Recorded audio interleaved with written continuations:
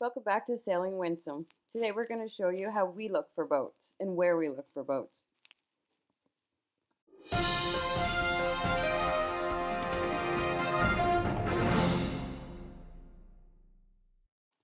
Top five places we look for boats on our laptop, on our phone, in marinas and boatyards, arriving the back roads, and word of mouth.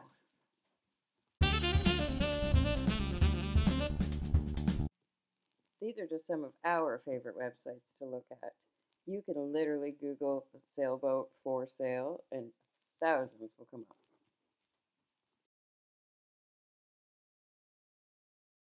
We also watch a lot of auction sites. We're always looking for that great hurricane deal.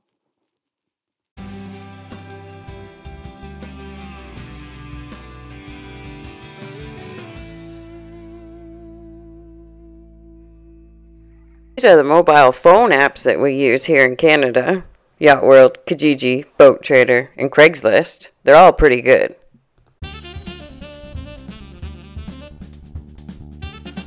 Stay away from brokers.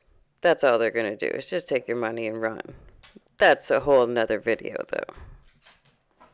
Your own survey. Save yourself some money. It's not hard. Do a little bit of research. All the information is out there. It's a lot of money to save yourself.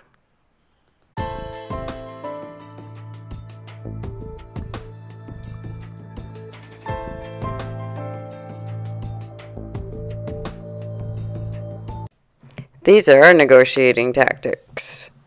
Really look at the boat, see how much it's going to cost you to get it up and going, how much it's going to cost to get it floated or delivered to where you're at, and compare it to other boats in the area.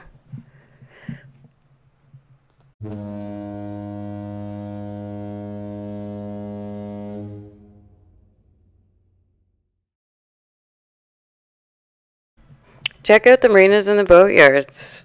They usually check out the bulletin boards as sailors aren't very tech savvy.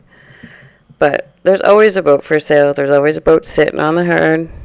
And talk to the sailors that are there. They know what good boat is good, what good boat is bad, what's for sale, what hasn't been touched in a year. Talk to them. Don't be afraid of them. They love to talk. Thanks for watching, and don't forget to subscribe. It helps more than you know. See you soon subscribe.